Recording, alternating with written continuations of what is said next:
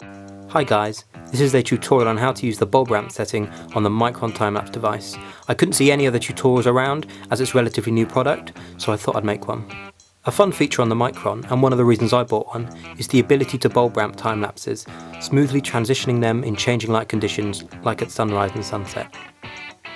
So to start, open the Michron app on your phone and select the top option, New Time Lapse.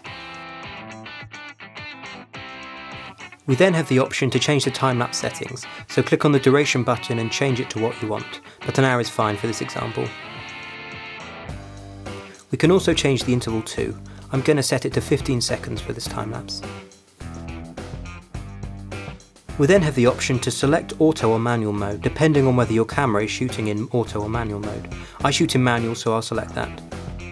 Then hit the advanced button and click the bulb ramping setting.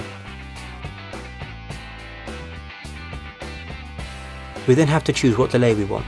Do we want to delay the start of the bulb ramping in our time lapse or not? I'll choose a 20 minute delay.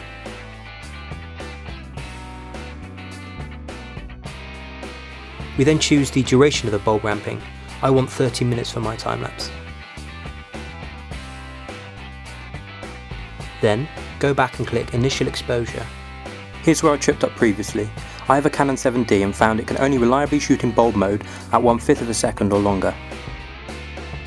For this example, I'll use an initial exposure of 1 second. Finally we'll work out our exposure change. Here we can see it says we'll take 240 frames, the final exposure is going to be 1 second and our interval is 15 seconds.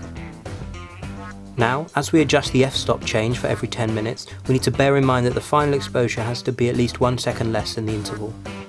In this case, my final exposure is to be 12.13 seconds, which is a change of 1.2 f-stops for every 10 minutes.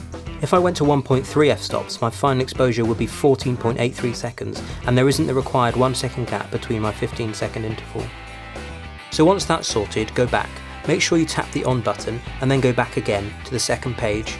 The numbers are circled at the bottom of the screen, and then click the arrow button to the right.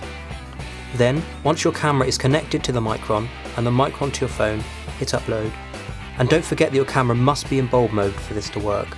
Here's an overview of the settings I used in this tutorial.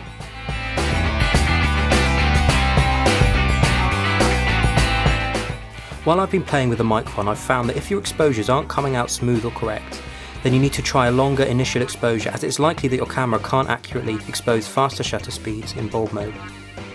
As you can see, I've been getting quite a lot of flicker in my time lapses. This is probably due to my camera more than the Michron itself. To remove the flicker, you can use software such as LR Timelapse. You might also be wondering about what initial and final exposures to set for different situations. All I can say is that it's trial and error. If possible, take some test shots the day before and go back and do your bulb ramp the next day. I've found that an f-stop per 10 minute change of 1 or 1.2 is good for sunsets. If you want to shoot sunrises, just change the f-stops per 10 minutes on the Michron app to negatives. Thanks for watching.